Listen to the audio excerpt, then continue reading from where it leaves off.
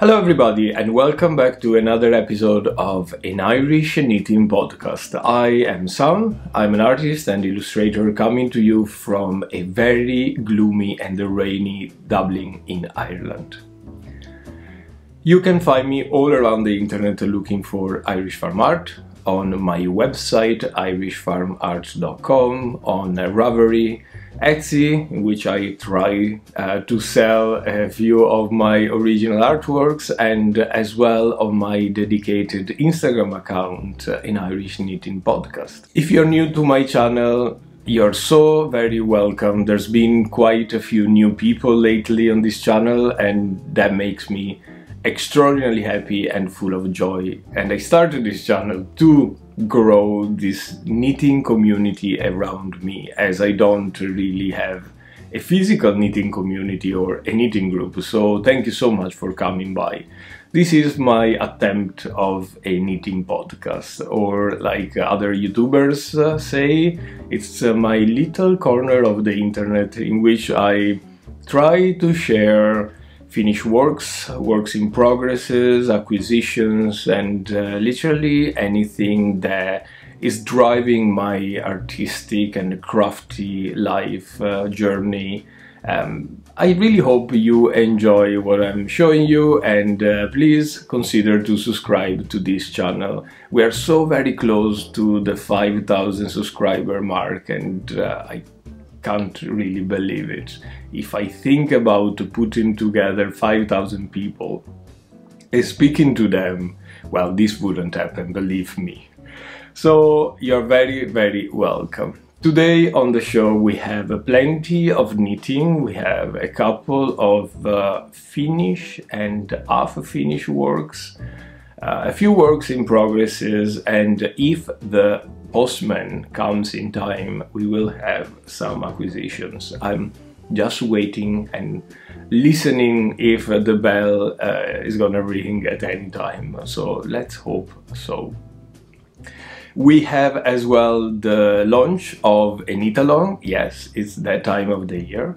And at the end of this video, but I'm not going to spoil the surprise, you're probably in for a little treat. I have a little surprise for you. There are spoilers around the room. I don't know if your eye is um, sharp enough to catch them. If you do, put a comment below in the description. But once again, you're in for a treat if you endure to the end of this podcast. So, without any further ado, grab your cup of tea, coffee. I just need a little coffee, and let's get started. It's now after 7 in the morning. If I am good enough in this business of filming, this will be done before the work day starts. So, let's get to it. The first thing that we need to address is the big elephant in the room here, which is not me, although uh, size-wise I might be considered some sort of elephant, but anyway, the jumper that I'm wearing. You have seen this in my uh, last podcast as a finished work. This is the Islander sweater by Sandnes Garn. It comes from uh, the pattern comes from this book here, um, which is actually the sweater that this guy is wearing on the cover of the book. This is the Tema 72 uh, booklet, book of patterns. Uh, it's uh, called Norwegian icons in the English translation. I can't really say that in Norwegian, uh, unfortunately, I don't speak the language. If you manage to get this book, and I will put down here some resources to find a Sandnes pattern if you are not in Norway. This is a brilliant book. It's full of amazing patterns. Uh, let me show you. I don't know if you ever uh, can see this, but it's full of amazing jumpers and uh, the pictures as well are just gorgeous. I made quite a few of uh, these designs in my time and every single of these pattern turns out amazing. So let's get into this sweater here. First of all, the yarn. Um, the pattern calls for a DK sport weight yarn.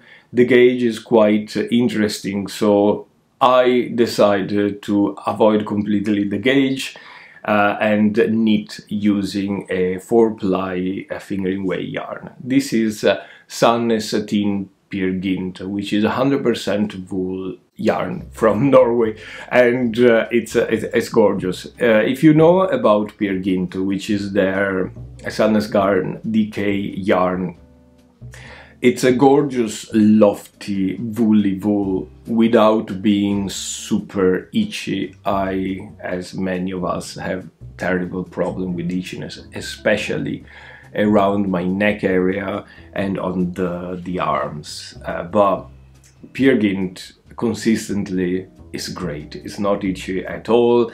It's uh, nice and lofty and warm. Uh, a few years ago, uh, they came up with the thinner version of Peer Gynt. So same composition in terms of wool and origin of the wool, which is actually very important for myself, but for Sandnes as a company as well. And uh, the yarn is just great. It's like knitting with a sock yarn, but without having the nylon uh, content in it. It's just a super lofty, super thin, and uh, slide through your needles very well. And the fabric that it creates is just great. Now, uh, being this pattern um, designed for a heavier weight of yarn, I had to do uh, some modifications. Some that I do all the time, which makes the garment fit me a little better, and some other that I never made before that I think resolve some of the issue that I had with, um, of course, not respecting gauge. So first of all, it's a bottom-up sweater. So you start from the waist, you knit up, you divide uh, for the sleeves, um, you put your body aside, you knit the two sleeves, joining together and start the um, raglan decreases. Uh, and then you knit up for the collar, of course. So there came the first modification that I made. Um, I choose as size the second last one, which, uh, if you know my business here, is the size that is closer to my 240 stitches. I take 240 stitches if I'm uh, knitting in fingering weight yarn at my waist, and I know more or less that that works as a size for me. Now, the thing that I modify there uh, is the length of the bust, of course, considering that uh, you're working with a fingering weight yarn, your row gauge is not matched. So I had to do some sort of modification in order to get my length right and respecting the super simple color work if I haven't mentioned this, this is a full-on color work. So every fourth row, you have two rows of uh, color work in the Islander situation. Uh, and it turned out just amazing. What else? Um, row gauge came to be very, very important when it came to raglan decreases. Joining uh, the sleeves and knitting up, you have a massive, almost 400 stitches of um, circumference here at the top of your bust.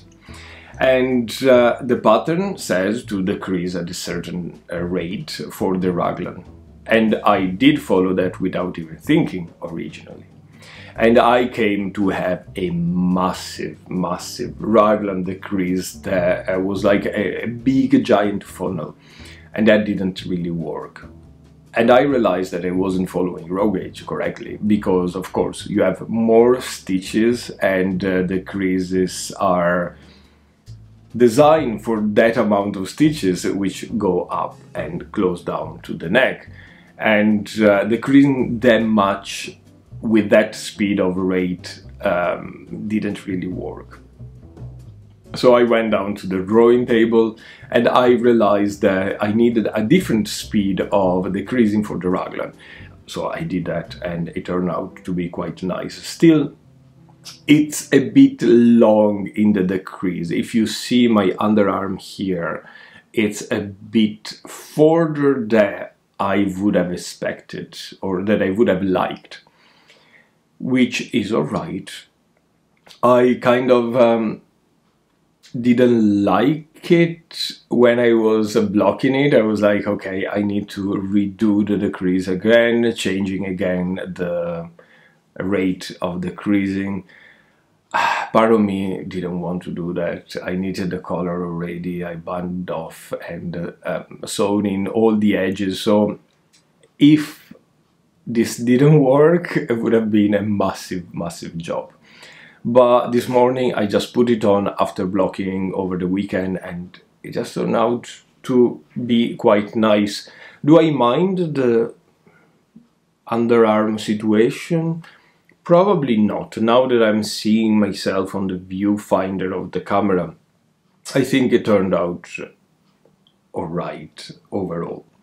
Um, something that I modify apart from uh, that uh, little row gauge issue is the cuffs, the color rate of uh, change of color. If you see the pattern is similar but is not the same just because using this fingering way yarn it didn't really turn out nice it was a big block of black color uh, which I didn't like. So it's just preference but this is nothing uh, really concerning. The design of the sweater it's just a personal preference. And if I find it yeah I put in a row of red yarn just to make it a little bit more personal. You barely can see it but I do I do like this little touch makes it feel a little bit more personal what else then? Uh, yeah, nothing else to be honest. Sandnes patterns are always good, they always fit very well, especially on a male body.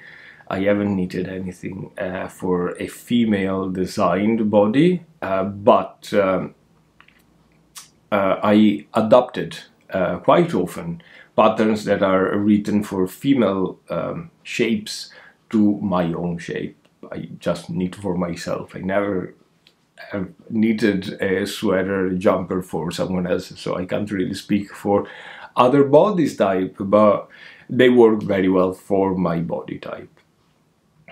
The color combination. We have a black and uh, a very, very light gray. Simple. Um, the colors, I unfortunately don't have any balls here but the colors are um, just amazing. Huge amount of variety of color in uh, Tynn Peer Gynt.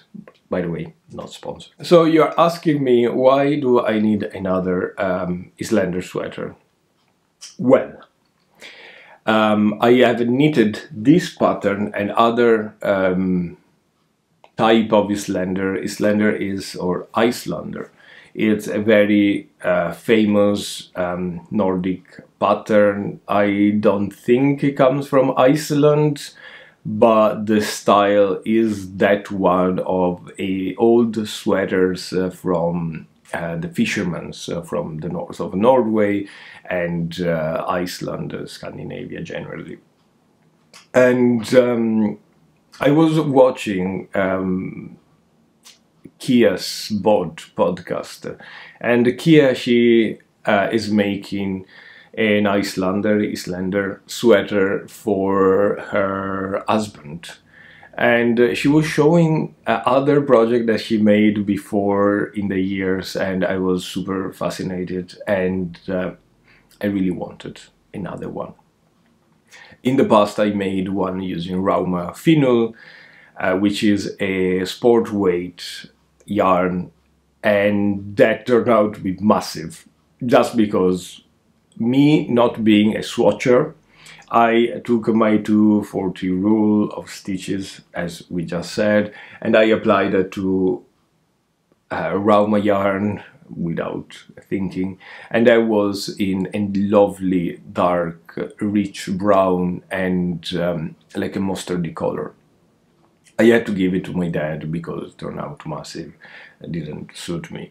But I really wanted to get um, in Islander that suit me well. I know it's just a nice little cozy pattern, and uh, yeah, I thanks to Kia's bod podcast I made this one, and thank you Kia for as well mentioning me sometimes in your podcast. that really means a lot. She is a brilliant, brilliant uh, um, podcaster from Sweden. I think she is so yeah, I hope she is getting ready for the Eurovision. so I'll come in there very, very soon in a few weeks. So, very happy with this jumper. I can try to give you a little view if I manage not to destroy the camera. As you see, fits very well. I can't really say much on uh, that. Sandnes patterns are usually great. I'm not sponsored. I just said that I'm not sponsored by Sandnes. I wish I was. Let's go on with the finish works, halfway works. this is as well inspired by another podcaster. I basically spend my evenings knitting and watching other podcasters because apparently I don't have a life anymore. Who guess what this is? This is a teeny tiny jumper for a teddy bear. And especially this is a colorwork tiny, tiny raglan jumper for a teddy bear. And uh, the inspiration for this came from uh, It's a Sarah podcast. And Sarah was making a blue rabbit for her niece and I found that so very inspiring. She made this lovely little um, teddy bear rabbit thing, stuffed toy, and uh, she made uh, a little jumper, a little cardigan, and uh, what else? Uh, trousers, shoes, all a wardrobe. And I was like, I do need one of those in my life, just to sit on the couch, have a lovely cozy jumper, and uh, look nice and sassy there. So I was browsing my patterns and I came up to this pattern here. This is the boy teddy bear by Julie Williams from the Little Cotton Rabbits and you can find this pattern on Ravelry. Uh, I put all the links below.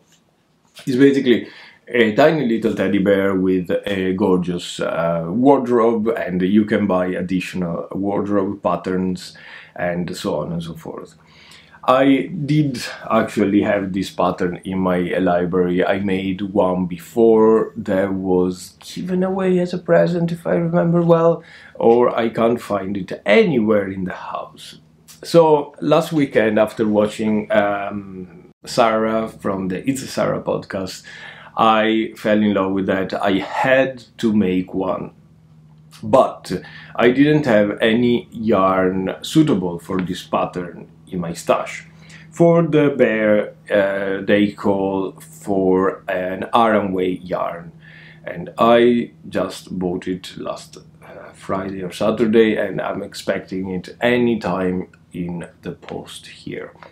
So waiting for that, I was like, oh, I definitely need some hard jumping thing, as um, Sarah would say. So I started by making um, the first few garments of the teddy bear.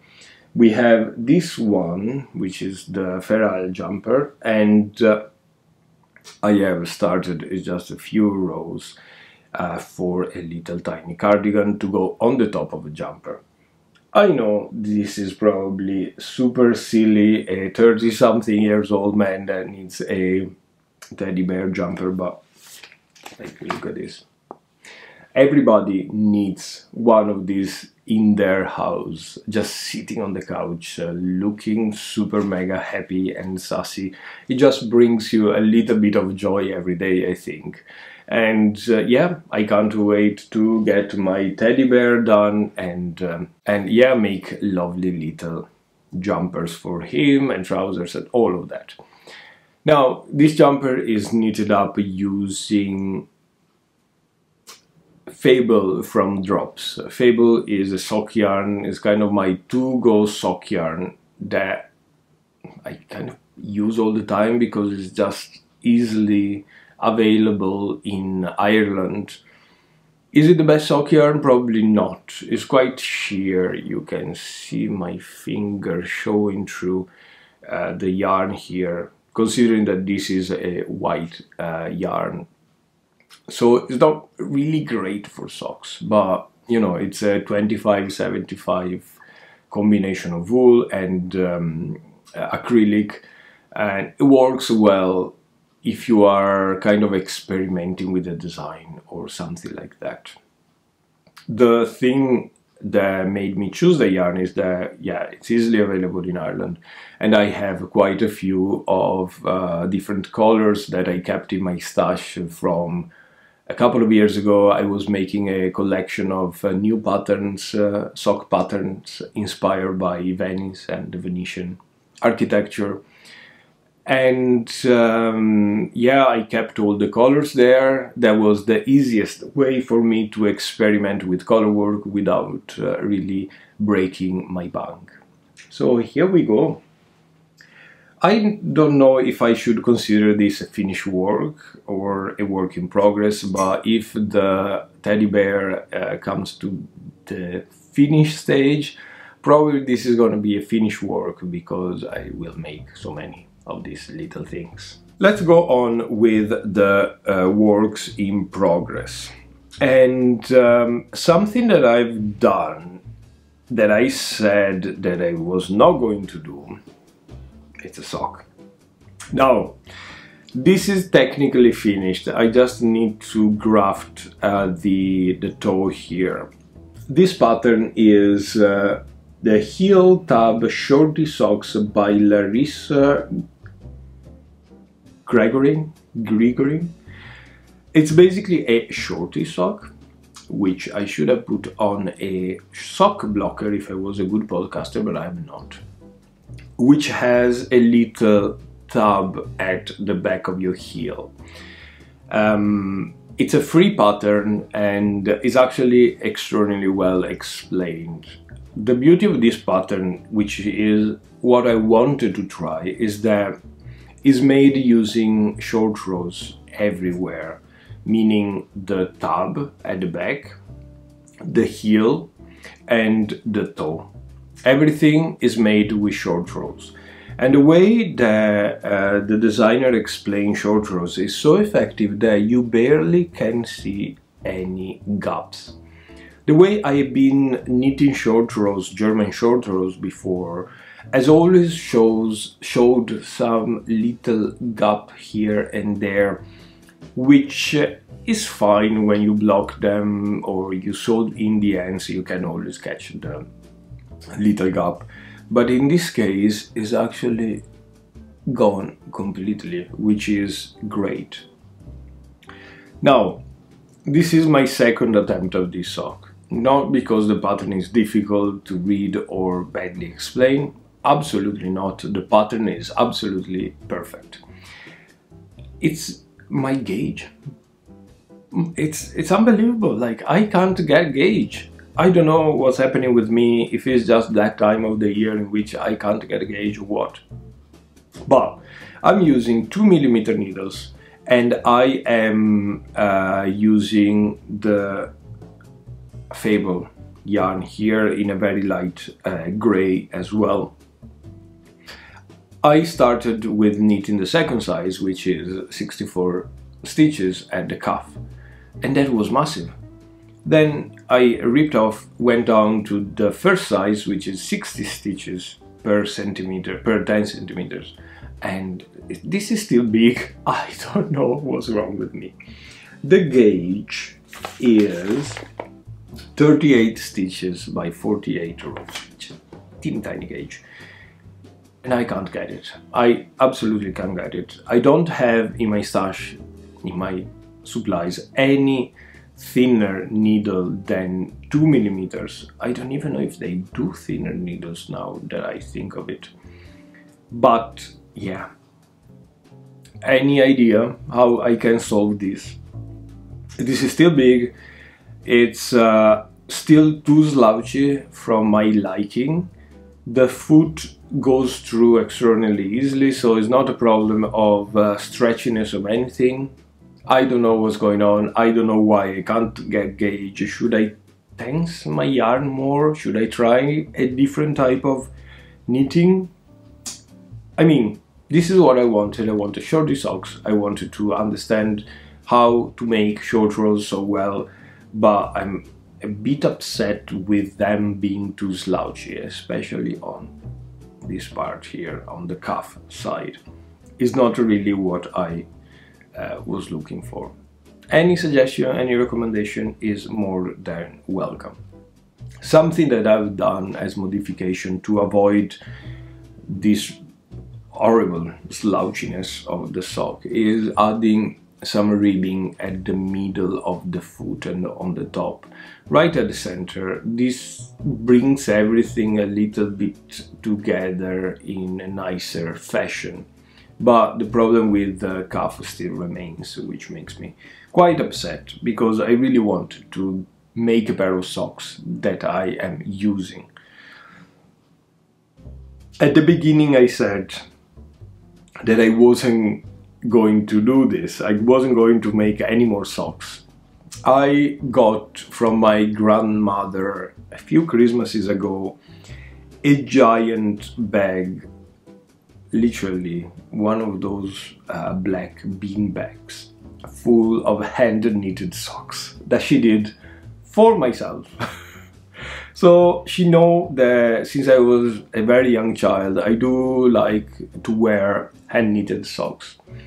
And she went into a spree of knitting socks and she made, I would say 50 pair of socks for me because she was like, oh, well, I don't know how long I'm going to be around. My grandmother is quite young, so. Uh, and I, I want you to have a lot of socks. And she made this giant bag of socks. I think I share some pictures of those in my um, Instagram account somewhere. Uh, all the colors, just their own pattern. Um, if you follow this channel for a while, you know that we have a Venetian style socks. I don't know if it's Venetian or if it's my grandmother's uh, way of knitting uh, socks, but it's a nice uh, little particular pattern. Uh, and if you're interested in knowing a little more about that all my sock patterns on Ravelry have that specific Venetian heel so you can find it quite easily there. So back to square one I have this bag of socks and I wear them quite often so all the socks that I made myself uh, haven't got the I don't know if uh, stretchiness or uh, haven't been used, let's say, at all. So I gave to charity all my collection of uh, hand knitted socks, and knitted by me. The ones that my grandmother made, I'm gonna keep them uh, for wearing and for, you know, a memory sake as well. They are just too dear to uh, give to charity. Maybe in the future, who knows. Anyway, I gave away to them and I was like, I'm not gonna make uh, any more socks. I don't use them. It's just going to be a waste of yarn and uh, just an exercise in knitting.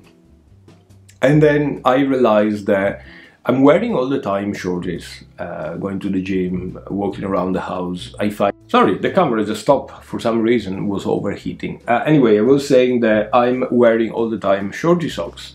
Uh, I find them just easier to wear uh, preference, who knows. Uh, and uh, so I was like, I'm gonna try and knit some shorties, and this pattern looks amazing. It was free, so I'm trying not to buy more patterns that I don't need. And they turn out good. It's just that slouchiness and the problem of gauge, I don't know what it is. So if you have any recommendation, please send it over to me. I am super eager to learn. I think the camera stopped because I've been speaking for too long. So let's go on with the next work in progress. I'm ravaging my tote bag here for the next one. So we have an issue. This is an issue. Here it is, probably without all the ends, but uh, first off, this is the men's cable pullover number 7 by Novita. Now, if you don't know about Novita, Novita is a brand of yarn, if I'm correct, from Sweden. The website is literally full of amazing patterns. We have like this is uh, knitted in pieces, we'll go to that in a second. We have jumpers knitted in the round, huge amount of um, garments for female uh, bodies, uh, a lot of garments for male bodies, and they are all written down amazingly and they are all free. I didn't know about that.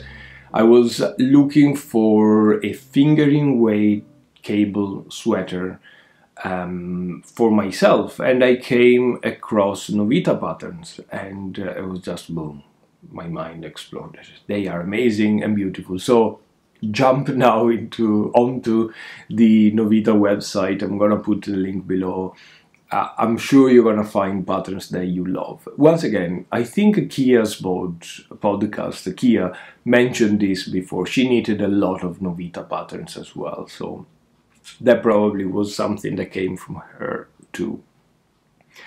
Anyway, uh, this uh, jumper, the uh, men's cable pullover number seven, it's knitted in pieces. It, you need the front, the back, the two sleeves, and to sew them together.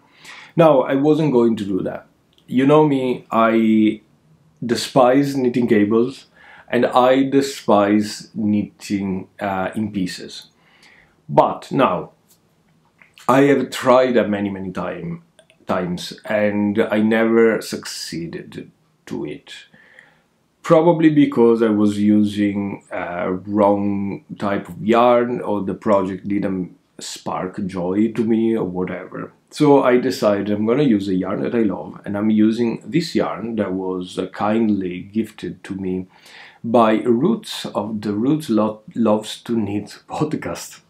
I'm mentioning so many podcasts. This is Woolly Knit in the color Stormy Blue, if I'm right. And the Ruth, uh, she was so massively kind to gift me a huge amount of this yarn and uh, it's probably on the top of my most favorite yarns ever. So I was like, I'm gonna use this, I'm gonna make a cable jumper and I found a pattern from Novita and this is the result. Now, it's not an issue of knitting, as you can see I went quite far on the body side. It's a lovely um, yarn, lovely speed and a beautiful pattern, extraordinarily easy to follow. The issue that I have is that the pattern once again is uh, written for a DK yarn and I'm using a very thin fingery weight yarn.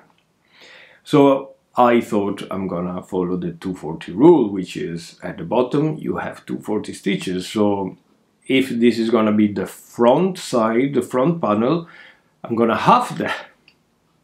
Now, look at this. This is basically the width of a sleeve. I have no idea how I can fit into this. The question is now, am I gonna endure in this? And make the front and the back sew them together and see if that works or am I gonna just frog this and start again with a different size? I have no idea. I try to stretch it a little bit, it kind of works, but at the same time, if I have issues with the width now, think about having to deal with uh, the, the creases, the, the shaping of the armhole and all of that. I don't know if I'm brave enough to endure in this. Also, if I frog this now, this is a full length of yarn, so won't to have any won't have any gaps in the yarn, any breakage. You know what I mean? But at the same time, it's a lot of work, and um, I don't know. I don't know. I don't know. I just want a nice finger weight cable jumper and I can't find anything. So yeah, that's it. That was uh, basically it for my uh, finished works, work in progresses. We don't have any acquisitions because the postman hasn't come yet and I don't think it will come so early in the morning to be honest I was too hopeful let's say uh, let's talk about um, the KAL, Knitalong. So, let me put on this before everything. As you can see, this is a rainbow pin and uh, as per the best tradition of an Irish knitting podcast, we uh, officially launch the Rainbow KAL 24. I repeat, I put on the screen hashtag rainbowkal24. Um, best tradition because last year I started the Rainbow KAL uh, 23 um, knit along to celebrate uh, Pride Month, which is coming in a couple of months, and to knit something colorful to show a little bit of support for the LGBTQA plus community.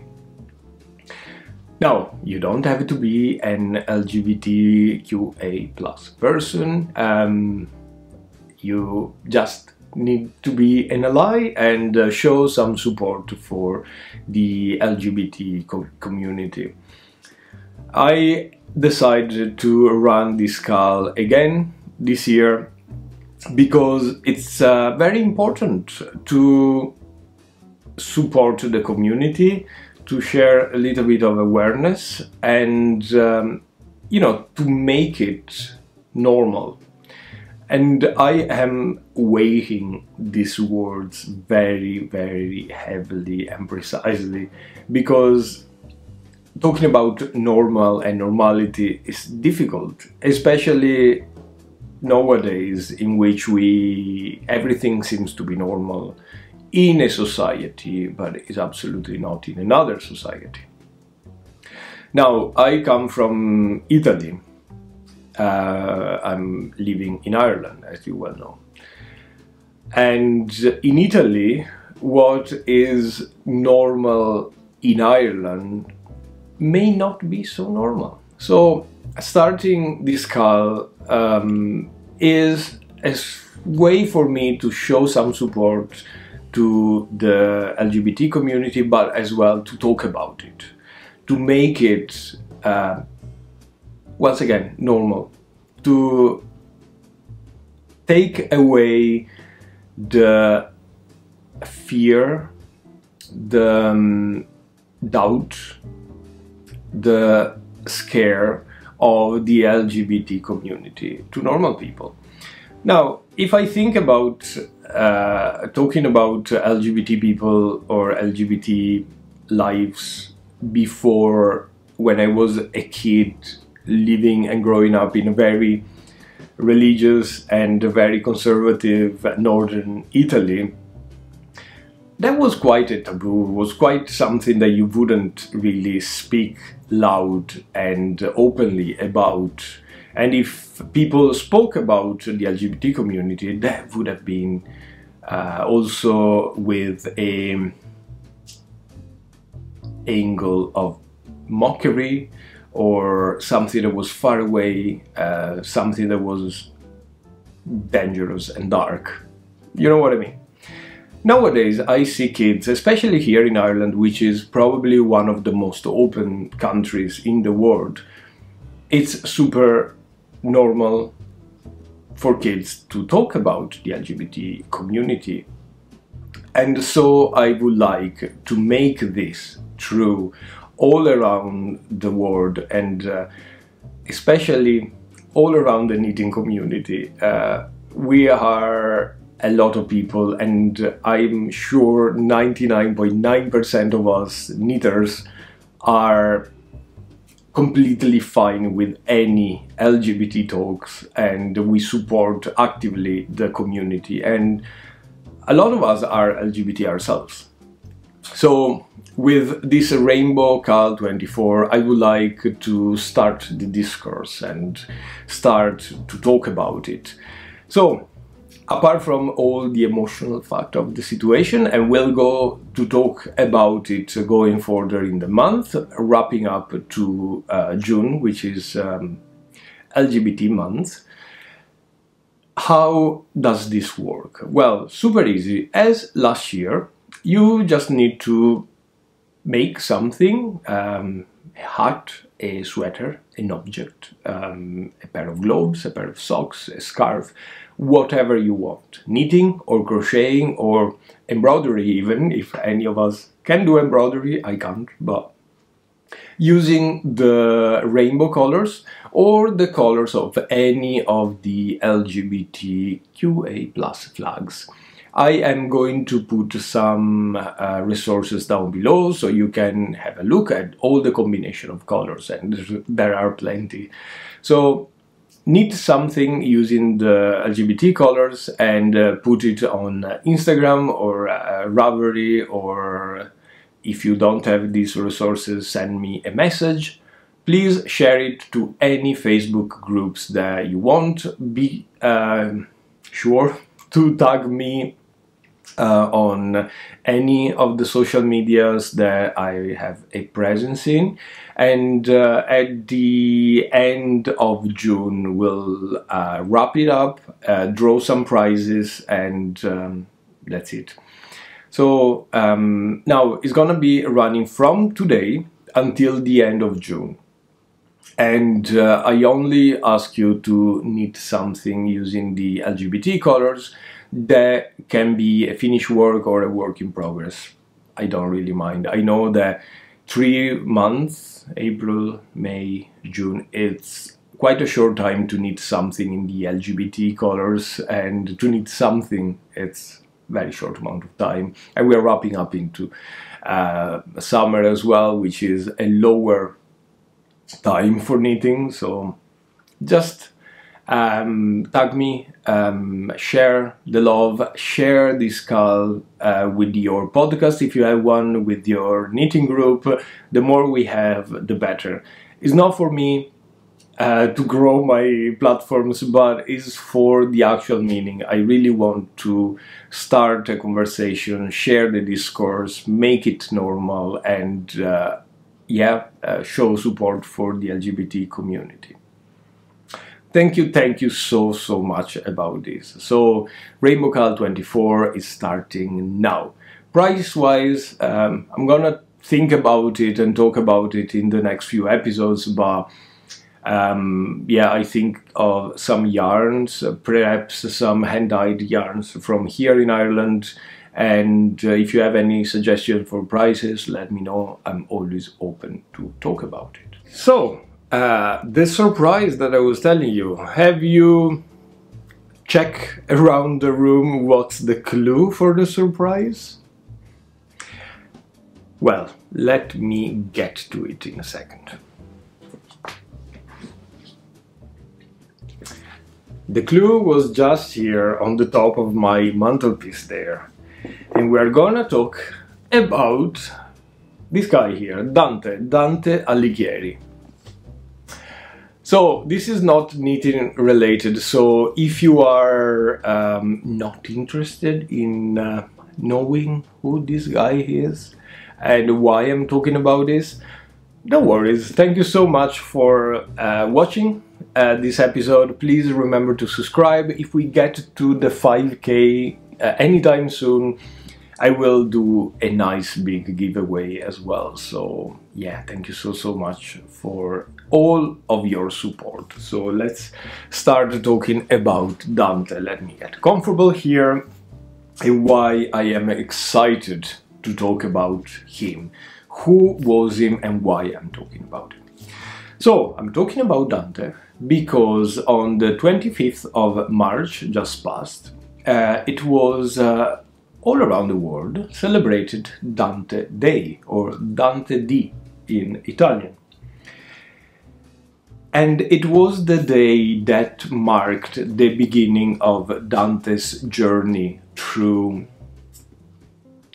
the Inferno, uh, Purgatory and Paradise on his Divine Comedy, Divina Commedia and it's uh, celebrated in Italy um, for the reasons that I'm gonna tell you in a second and it's celebrated all around the world as well from all the Italian Institute of Cultures that are um, sparse around the world. Uh, I think it's important for me to talk about this as an Italian and Irish person to spread a little bit the news about Dante and also because uh, I know that the vast majority of my audience here is not from Italy or Europe so you may have heard of Dante but you may not know who he was and why is so interesting and so important to kind of read about it and what a treat it will be if you get through reading about Dante.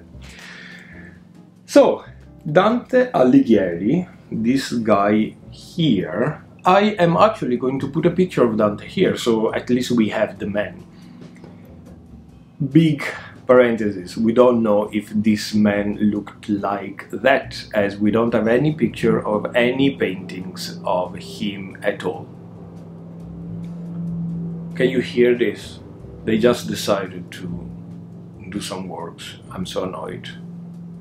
Anyway, Dante, who was he? He was a man that was born in Florence in 1265.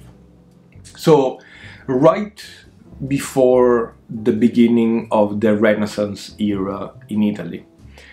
He was born in Florence. He was uh, born from a quite rich family, wasn't noble at all, but uh, his uh, parents and his brothers used to deal with um, uh, with money lending. They had uh, a business in lending money, lending land and houses and all of that.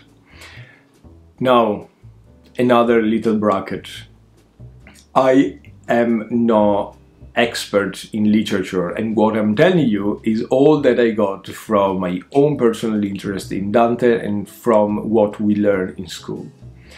It is important that you notice that if you are Italian, you don't need any of this because the culture of Dante is so instilled in your everyday life that everybody knows who Dante is and why it's important to read Dante and what he've done. Uh, so all of this is just part of my own personal culture growing up as an Italian person as we said, was born in Florence in um, uh, 1265.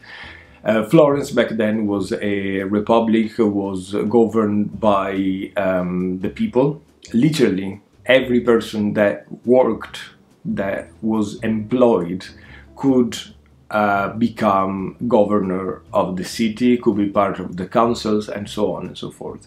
It's a very interesting form of government the Florentine ones in that era. It was completely a man of the Middle Ages.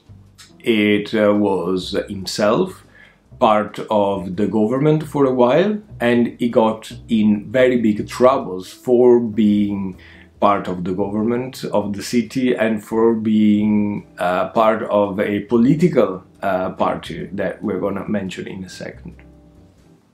As I said, his parents and his brothers uh, used to deal with money and they were wealthy enough to allow Dante not to work at all. Um, we don't have any news about him being employed or being um, dealing in uh, the business of his family. I think he just managed to sell some of his uh, inheritance and just live uh, um, of his own art and uh, be employed in politics in the city. So it was a man that just grew uh, to build up his own culture and uh, do what he loved the most, which was writing. And for the first time, almost ever, someone like Dante decided to write this book in vulgar language, which is the grandfather, let's say, of modern Italian. And we as Italian people are so lucky that we can read this book and Dante writing in our own language, which is something that nobody else can do and understand it, which is absolutely great. If you think that this was written in the year 1200 and we can still read it, like unbelievable. It's just mind blowing. Anyway, we were saying that he wrote this in Italian and was one of the first people that decided to write uh, a book in Italian. I'm using the word Italian a little loosely, but this was kind of Florentine or vulgar language, which was, of course, the language of Florence, but it was understood and kind of spoken with a bit of a difference here and there all around Italy. Even in Venice, where I'm from, there was a Proto-Venetian, an old Venetian language, which is similar in aspects to uh, the Florentine language that Dante used. So in that time, nobody wrote in uh, Italian. They wrote in Latin. Latin was the language of culture, was the language of poetry. And in that specific time, there was kind of a renaissance of Latin language as well they started uh, Cicero, they started uh, Caesar, Cato, and all those um, Latin poets, and they wanted to get back into the classic Latin, the proper Latin, not the Latin that the church spoke or the regular people wrote in or spoke in. And so it was very difficult for uh, them, or very unusual, let's say, for them to write in uh, Italian and so that's why first Dante is important to us, because it's the first big uh, piece of writing that we have in our own language and is considered nowadays as the father or one of the fathers of the modern Italian language as well, modern Italian culture. So grew up in Florence and he was part of um, a political party which was called the Guelfi. And uh, Guelfi, I have no idea what's the translation in English, is basically the political party that saw the Pope of Rome as the figure that would uh, kind of help Italy to bring back the former glories. On the other side, the other political party were the Ghibellini. Ghibellines? No idea, which were the people that saw on the Emperor of Germany uh, as the figure that would uh, help Italy get back to its former glories. Anyway, it was part of a part, a subdivision of the Guelfi um, party. And after some troubles in Florence, which I'm not going to get into it, although it's really, really interesting, interested uh, went into some troubles that particular part of the Guelfi uh, party and he was exiliated outside Florence. Now, when he was exiliated, Dante was in Rome uh, as an ambassador to the Pope for the city of Florence. He came back and he found that uh, the other side of the Guelfi party was in power and they exiliated uh, himself and other people that were um, part of the wrong side of the political party. So he found himself walking around uh, uh, Italy and being hosted by uh, some Italian families uh, all around the country. Now you have to think about Italy as a very different country back then. It was divided in about 20 different uh, um, cities, states, um, little kingdoms, um, um, little self-ruling states. And everyone was uh, almost always uh, fighting with the neighbors. And it was a very very different country. But um, the common thread was uh, the culture. Every single one of these states found themselves within the Italian culture or the former uh, Roman Empire culture. And so Dante started to write the Divine Comedy. The Divine Comedy is a massive, massive poem. Now, I don't remember how many verses it has, but I can find out in a second just looking at it.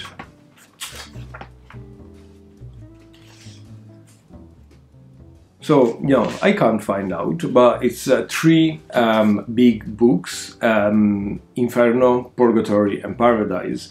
And it's all a poem. You can see I'm opening a random page. This is the text, and these are the notes. These are written by someone else's, but the text of Dante is there. And it's all written in vulgar language or uh, Old Florentine, Old Italian. He starts his journey on the 25th of uh, March, and we know that because it tells us that. And he starts his journey um, being lost in a dark wood. Um, being lost there was kind of the allegory of his life being um, exiliated abroad, not being able to go back, and he starts on a self-reflection. Why is he finding himself into that dark forest, a dark wood, and what's going on? So he meets his guide, which is Virgilio, which is a a Roman poet that did a similar trip as Dante down to hell, purgatory, and paradise, or what they had back in the Roman time. So starts his journey, goes down into hell. Uh, in every single chapter of this uh, opera, this book, this poem, he finds people that everybody knew, famous people like popes, kings, um, noblemen, poets, his own ancestors, friends of his, people that were well known back when Dante was writing this. So that's why, as well, this is such an important book to us because we get to know about the real people that were living there. And with an extraordinary amount of wit he put these people in hell rather than purgatory, rather than paradise. Uh, every single one for a specific reason. One of the parts that I prefer of uh, Inferno of Hell is when he speaks about uh, Paolo and uh, Francesca. Paolo and Francesca were uh, two lovers that um, really loved each other very much, and he described them as um, being embraced in hell and sputtered around this massive room in Inferno, hugging each other and being so much in love with each other and reading uh, a book together and it's just such a beautiful piece of poetry that I really would recommend you to read about it. Uh, anyway, uh, it goes through hell uh, to purgatory, uh, into paradise, and then he comes out from paradise, and we have the end of this uh, Divine Comedy. The Divine Comedy was extraordinarily uh, popular when it was written. It gave Dante I don't know if wealth, but for sure his name was very, very famous all around uh, Europe as well when he was writing this. America wasn't discovered yet, so we don't know if uh, uh, it could ever be popular there as well, but it was written was copied uh, all around Europe and uh, the commentary of the Divine Comedy, the commentary is this little words that we have down here which is basically necessary to understand what Dante is talking about in his poem. Is being uh, written and done for by a lot of uh, um, studios is or by a lot of um, very famous, very important researchers and people. His own uh, sons wrote one of the first commentary to the Divine Comedy. So we celebrate Dante Day or Dantedì on the 25th of March. I wanted really to record something about that specifically to celebrate Dante, but um, Easter was about, I was at home, it wasn't possible. Anyway, I really hope you enjoy this little parenthesis on Dante. There's so many words that I want to say about him and why it's so important for us and for the modern um, culture that I, yeah I would like to talk about this a lot more but I think a little nugget here I gave you a couple of books that I would recommend of course if you can get a hold on the Divine Comedy in any of your translations I really would recommend you to get one that has an Italian front text. So Italian English, for example. So at least you can see the words in Italian language and understand the sound of it. Because every single verse is written using specific rhymes, so it sounds different. I don't know if that makes any sense to you. But it's just very beautiful and it's a book that you will have in your library it's been there for centuries and it's nice if we have a copy of this, I think, in the library. The other thing that I would like to recommend to you is this book from Alessandro Barbero, which is a modern um, historical um, professor of um, I don't remember which uh, university in Italy, but it's a really good book and it's a story of uh, Dante as a human being and as a poet as well. It's really, really easy to read. It's like a, a novel basically, but it gives you all you want to understand about uh, this very important figure for the Italian culture and for generally the European culture. Uh, is translated in uh, almost every languages, so you can find this somewhere.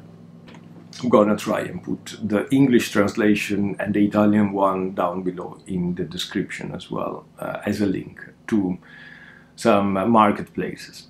Anyway, I really hope you enjoyed this little bracket and you enjoyed the podcast generally. It's probably gone on for two hours. I need to start working now and uh, remember Rainbow KAL 24 as well. Uh, I'll see you very very soon. Bye bye.